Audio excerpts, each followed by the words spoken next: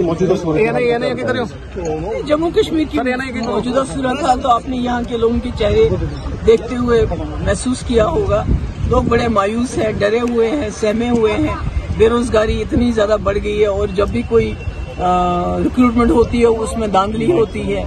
महँगाई सर चढ़ के बोल रही है ऊपर से प्रॉपर्टी टैक्स एंटी एनक्रोचमेंट यानी कि वो कोई मुसीबत नहीं है जो जम्मू कश्मीर के लोगों के ऊपर इस वक्त 2019 के बाद शुरू नहीं हुई जो बीजेपी सरकार नहीं डाल रही है। तो हालात बहुत खराब है अच्छी तो इस पूरे सिलसिले को कैसे निकालेंगे आप? मतलब आप हमेशा मतलब आपकी स्टेटमेंट है कि इस पूरे सिलसिले को हम निकालेंगे। क्या रहेगी देखिए मुझे एक ही उम्मीद नज़र आ रही है कि जो हमारे साथ हो रहा था जिस तरह हमको यहाँ पकड़ पकड़ के जेल में डाला जाता था बड़े बड़े लीडरों को भी जेल में डाला गया तो मुल्क की जो अपोजिशन की लीडरशिप थी वो ये बात समझ नहीं पा रही थी।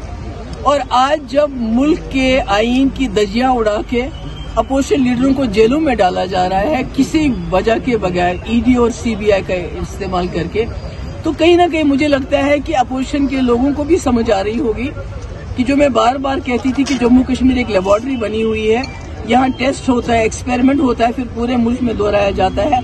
आज वहाँ भी वो महसूस करेंगे और शायद उनके दिल में कोई ऐसी कोई जहन में कोई ऐसी बात जाग जाए वो महसूस करें कि जम्मू कश्मीर के लोग किस मुसीबत में हैं। मैडम कब तक एलजी का दौर ये रूल चलता रहेगा? असेंबली इलेक्शंस के लिए क्या कैसा रहेगा? वो मैं कैसे बता सकती हूँ? ये तो बीजेपी को फैसला इलेक्शन कमीशन को तो फैसला नहीं करना है क्योंकि इलेक्शन कमीशन ने बहुत पहले कहा था हम रेडी हैं। ये तो बीजेपी फैसला करेगी। जब उनको लगेगा कि सारा यहाँ मामला उनके हिसाब से ठीक हुआ है तो